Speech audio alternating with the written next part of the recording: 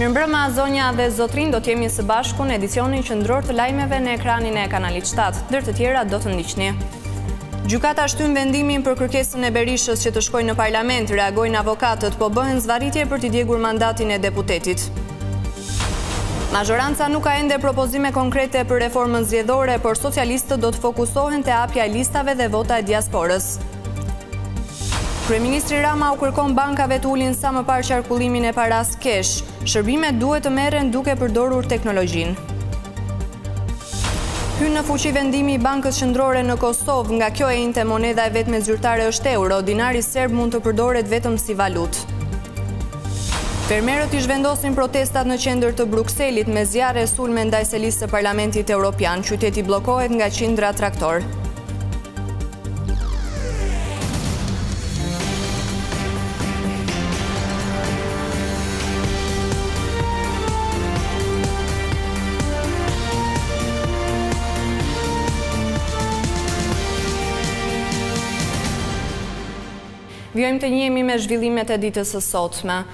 Gjykata e Posaçme e ka shtyrë për në datën tetë shkurt vendimin për kërkesën e Berishës që të marrë pjesë në seancat parlamentare. Avokatët e ish-kryeministrit reaguan menjëherë, duke thënë se kjo zvarritje po bëhet me qëllim për t'i djegur atij mandatin e deputetit.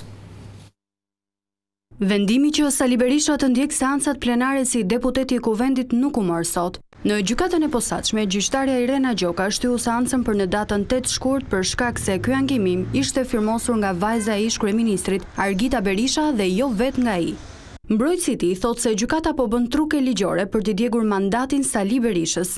E gjithë shtyrja e seancës është për të vonuar, siç caktoi dhe datë mas dhjetë ditësh, është për të vonuar gjykimin e kësaj kërkese, sepse i vetmi qëllim i kësaj gjykate dhe atyre, dhe politikës që fshihet mbas saj, është djegja e mandatit të deputetit Zotit Berisha.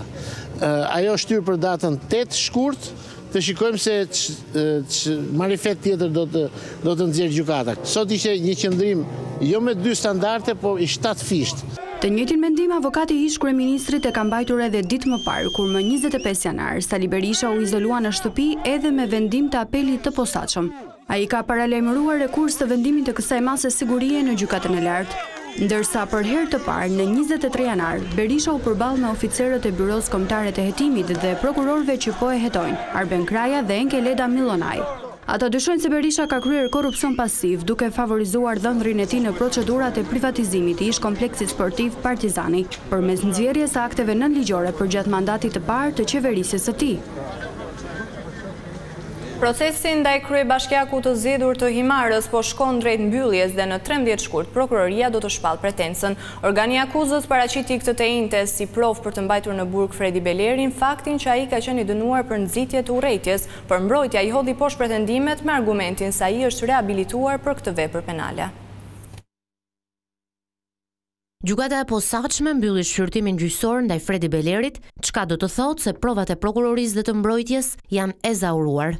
Kështu, në seancën e datës trembëdhjetë shkurt, i pandehuri do të njihet me dënimin që Prokuroria do të kërkojë ndaj tij. Në seancën e kësaj të enjteje dëshmoi specialistja e Drejtorisë së Përgjithshme të Burgjeve prej njëzet e pesë vitesh në këtë detyrë, Anisa Pace.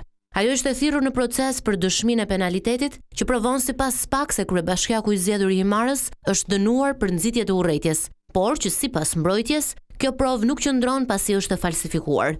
Sot u provua plotësisht në proces që ajo është e falsifikuar, nuk kanë një shpjegim dhe nga punonjësit e Zyrës Qendrore për ekzistencën e saj, i treguam që edhe KQZ-ja e ka marrë në datën tre i katërti dëshminë e i padënuar, nuk kanë një shpjegim. nuk ka përgjegjësi, nuk duan të hetojnë, edhe specialistja tha që ai është i padënuar, në kuptim të ligjit, është rehabilituar, patjetër që ka pasur, po një njeri nuk mund të rrijë tërë jetën, para njëzet vjetësh, gjithë vëmendja jonë është te Gjykata Kushtetuese, tejzgjatja më shumë se tre muaj prej momentit që e ka kaluar çështjen për gjyq, si asnjë rast tjetër po të shikoni në Gjykatën Kushtetuese.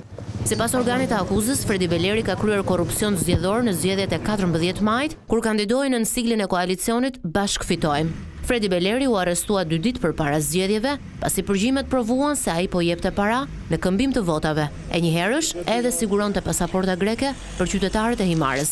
Në seancë ishte e pranishme edhe ambasadorja greke Konstantina Kamici si dhe kreu i PBDNJ, Vangjel Dule.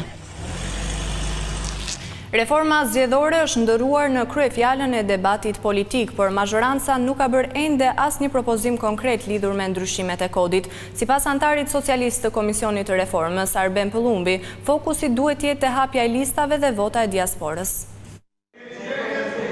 Ende pa hyrë në fashën e diskutimeve më të rëndësishme në tryezën e zgjedhores, Partia Socialiste nuk ka hedhur asnjë propozim për ndryshime në Kodin Zgjedhor. Socialisti Arben Pëllumbi, që është edhe një prej anëtarëve të Komisionit të Reformës Zgjedhore, thotë për Vizion Plus se brenda shumicës socialiste ka mendime të ndryshme për formulën e votimit të kandidatëve për deputetë. Me lista plotësisht apo pjesërisht të hapura. Ne nuk është se jemi ulur për ta diskutuar këtë çështje, a i duam qind për qind të hapur apo s'i duam qind për qind të hapur. Në fillim duhet të dëgjojmë ekspertët. Unë mendoj që qoftë njëri variant, qoftë tjetri variant kanë anët e mira dhe difektet e tyre. Kështu që kjo duhet vlerësuar edhe në kushtet reale dhe pastaj duhet parë edhe se cili është dhe qëndrimi i krahut tjetër të opozitës. Vota e diasporës është një tjetër çështje për të cilën PS i duhet të dalë me një propozim. Do ta marrë përsipër ta zgjidhë në tryezën e Zgjedhores apo do t'ia lë atë Komisionit Qendror të Zgjedhjeve? Të shikojmë se si mund t'i hapim rrugë votës së diasporës, nëse mund të bëjë Kuvendi diçka të tillë. Në dijeninë time, ne besojmë që i kemi bërë detyrat që duhet të bënim në lidhje me votën e diasporës. Në rast të kundërt, të dalin aktet nënligjore, sikurse ne kemi menduar. Pavarësisht shumicës së deputetëve protestues demokratë që pamundësojnë mbledhjen fizike, Arben Pëllumbi thotë se ata nuk do të mund ta bllokojnë punën. Sigurisht ne nuk e kemi në opsionin tonë që t'ia shtyjmë përsëri mandatin atij komisioni. Kjo do të thotë që në rast se duhet të ndërmerren iniciativa për të marrë parasysh vendimin e Gjykatës Kushtetuese apo për të bërë disa ndryshime të caktuara që imponohen nga këto vendime, do të gjenden mënyra se si aleanca të brendshme brenda Kuvendit, deputetë që mund të mendojnë që të votojnë edhe vlen që të votojnë për të gjitha, ashtu siç duhet të funksionojë normalisht një parlament. Akuzave të dy grupimeve të Sali Berishës dhe Gazment Bardhit se Edi Rama është në marrëveshje me Lulzim Bashën për ndryshimet në Kodin Elektoral i përgjigjet. Kështu mazhoranca ka disa detyrime dhe një nga këto detyrime është pikërisht plotësimi i të gjithë kuadrit ligjor për zgjedhjet e vitit dy mijë e njëzet e pesë, ato që janë realisht të domosdoshme për t'u bërë. Ne këto do t'i bëjmë. Në një mënyrë ose në një tjetër këto duhen bërë sepse përndryshe pastaj na rrezikohen zgjedhjet e vitit dy mijë e njëzet e pesë. A i bëjmë brenda komisionit, apo i bëjmë jashtë komisionit, kjo do të bëhet. Opozita e ndarë apo e bashkuar, me vulë apo pa vulë, me rithemelim apo rithemelim, e ka shansin që të sjellë propozimet e veta. Të martën, Komisioni i Reformës Zgjedhore ka parashikuar mbledhjen e radhës. Për t'u dëgjuar janë organizata të lidhura drejtpërdrejt me proceset elektorale. Zhvillimi i saj fizikisht apo online do t'i mbetet aksionit të opozitës. Paraja cash konsiderohet një fenomen negativ nga qeveria, që i kërkon sistemit bankar të ulë qarkullimin fizik të kartëmonedhave. Në një takim me drejtues të sektorit, kryeministri Rama foli për më shumë investime në teknologji, për të patur më shumë transparencë. pjesë në këtë diskutim. Kryeministri Edi Rama i është rikthyer kërkesës që bankat duhet të ofrojnë online pagesat e shërbimeve publike dhe nëpërmjet teknologjisë të ndikojnë në reduktimin e parasë kesh. Gjatë një takimi me sistemin bankar dhe kompanitë fintech, kreu i qeverisë tha se bankat duhet të dalin nga zona e tyre e komfortit. Bankat janë aty për të hapur dyert, për të hapur dyert e zhvillimit, për të hapur dyert e teknologjisë për të hapur dyert për Shqipërinë që të shkojë shumë më shpejt përpara, duke u kthyer nga një vend që ka përdorimin më të lartë të keshit në ekonomi në një vend pa kesh në transaksionet e jetës përditshme. Dhe kjo është plotësisht e mundur. Duke i konsideruar si një prioritet kombëtar investimet në teknologji, Rama kërkoi që Banka e Shqipërisë të udhëheqë këtë proces. Duam të shikojmë bizneset që shesin me këto sisteme, duam të shikojmë rënie reale të keshit në qarkullim, duam të shikojmë rritje reale të transparencës së parasë edhe rritje reale të të ardhurave për vëndin, dhe këtë gjë ne duam ta bëjmë në mirëkuptim të plotë dhe në paqe. Në takim, kreu i Bankës Qendrore la një afat të ri për bankat e nivelit të dytë që të ofrojnë pagesat online të shërbimeve publike. Deri në qershor kjo patjetër që duhet bërë. Nga dy banka, tre, duhet bërë të gjitha, kjo nuk ka diskutim se është detyrim ligjor. Dhe bankat duhet të bëjnë patjetër ato që duhen bërë, që janë detyrimet ligjore dhe investimet që duhen bërë. Në funksion të dekurajimit të parasë kesh këtë vit bankat janë të detyruara të hapin pa pagesë llogari bankare për pensionistët, llogari nëpërmjet të cilës do të ofrohen edhe disa shërbime bazike pagesash. Opozita në Këshillin Bashkiak tha se Erion Veliaj ka ulur shpenzimet për investimet dhe ka rritur ato për administratën dhe inceneratorët. Sipas demokratëve, kryebashkiaku po censuron kundërshtarët për të fshehur skandalet e tij. Përfaqësuesit e opozitës në Këshillin Bashkiak të Tiranës kanë akuzuar Erion Veliajn se ka rritur shpenzimet për administratën e ka ulur investimet për banorët e kryeqytetit. Pas mbledhjes së Këshillit Bashkiak e cila u mbyll brenda pak minutash, anëtarët e zgjedhur me votat e demokratëve kanë dalë në konferencë për të analizuar buxhetin e Tiranës për vitin dy mijë e njëzet e katër e për të shpjeguar se ku shkojnë taksat që paguajnë banorët e kryeqytetit. Mund të shihni fare mirë që të vetmet shpenzime që janë rritur, janë rritur për shpenzimet për administratën dhe janë rritur për inceneratorët. Për çfarë janë ulur shpenzimet në Bashkinë Tiranë. Janë ulur për arsimin bazë, çdo shërbim që i nevojitet qytetarit ka pas rënie në buxhetin dy mijë e njëzet e katër. Dhe çdo shërbim që i shërben disa xhepave të pak njerëzve ato kanë pësuar rritje. Sipas opozitës, fondet kryesore të buxhetit të kryeqytetit vazhdon t'i marrë edhe për këtë vit Inceneratori i Tiranës. Vetëm për vitin dy mijë e njëzet e katër, zoti Erion Veliaj ka shtuar një miliard lekë të reja në buxhetin e bashkisë për incineratorin fantazmë, edhe pse nuk digjet asnjë nga mbetjet siç do duhet të digjeshin.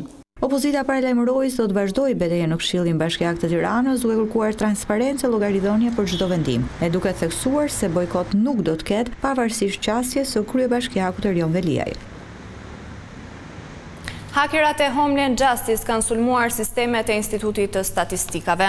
Hakerat kanë publikuar të dhënat personale të punonjësve të Instat, nga e-mailet, numrat e telefonit dhe adresat e banimit, ndërsa faqja online është e paaksesueshme momentalisht. Vetë Instat reagoi duke pranuar se nga sulmi kibernetik janë prekur disa të dhëna, por shton se materiali i grumbulluar gjatë censit nuk është cënuar. Aktualisht nga ekzaminimet e para të kryera nga ekspertët e Teknologjisë së Informacionit, disa nga sistemet e Instat janë ndikuar nga sulmi. Instat siguron publikun se të dhënat e censit nuk janë objekt i sulmit, pasi janë të ruajtura në sisteme të tjera të dedikuara vetëm për këtë qëllim.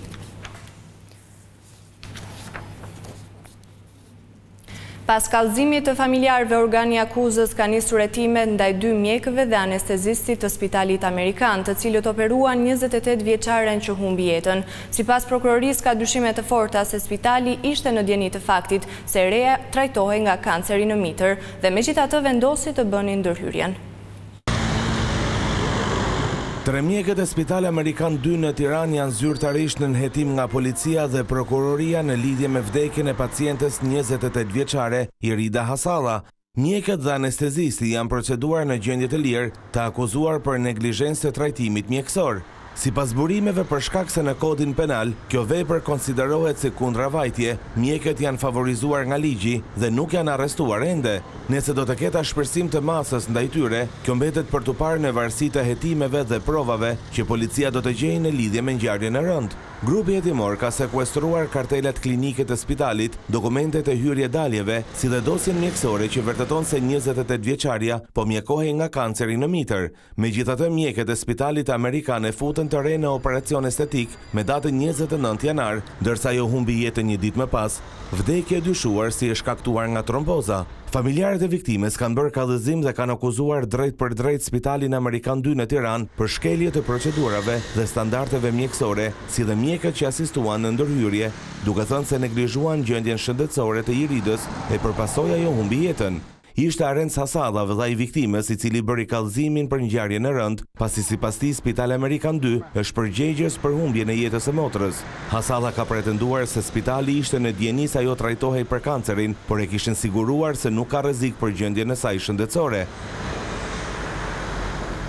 Gjykata e Elbasanit ka sekuestruar disa prona me vlerë pesëqind e pesëdhjetë mijë euro që dyshohet se janë përfituar nga burime të paligjshme, pasi pronarët e tyre rezultojnë të dënuar për prostitucion. Me kërkesë të Prokurorisë është vendosur sekuestro ndaj një objekti trekatësh me aktivitet bar restorant dhe hotel në Cërrik dhe një automjet luksoz Lamborghini. Këto pasuri ishin në emër të Arjan Kamanit, I dënuar në Belgjikë. Po ashtu është sekuestruar edhe një apartament në pronësi të Uard Kalotit, i cili ka qenë i dënuar më parë në Itali për shfrytëzim prostitucioni.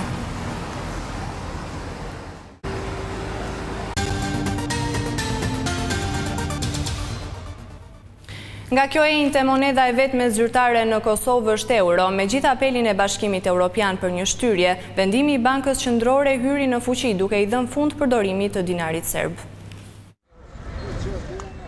Në Kosovë ka hyrë sot në fuqi rregullorja e re e Bankës Qendrore, e cila kërkon përdorimin vetëm të valutës euro në vend, duke përjashtuar kështu dinarin serb. Vendimi prek kryesisht komunitetin e serbëve në veri, të cilët marrin paga dhe pensione nga Serbia në dinar, por edhe e përdorin këtë valutë për shitblerje. Sot Bashkimi Europian përmes një deklarate kërkon një periudhë më të gjatë tranzicioni. BE-ja është e shqetësuar për pasojat që ky vendim mund të ketë në jetën e përditshme të serbëve të Kosovës dhe komuniteteve të tjera në mbarë Kosovën, për shkak të mungesës së konsultimeve paraprake, veçanërisht për ndikimin e tij në shkolla dhe spitale, duke patur parasysh mungesën e dukshme të alternativave në këtë moment. Komuniteti ndërkombëtar kishte kërkuar shtyrje të afatit për rregullat e reja, por autoritetet e Kosovës thanë se vendimet e Bankës janë të panegociueshme megjithëse ndryshimet do të bëhen përmes një tranzicioni të lehtësuar.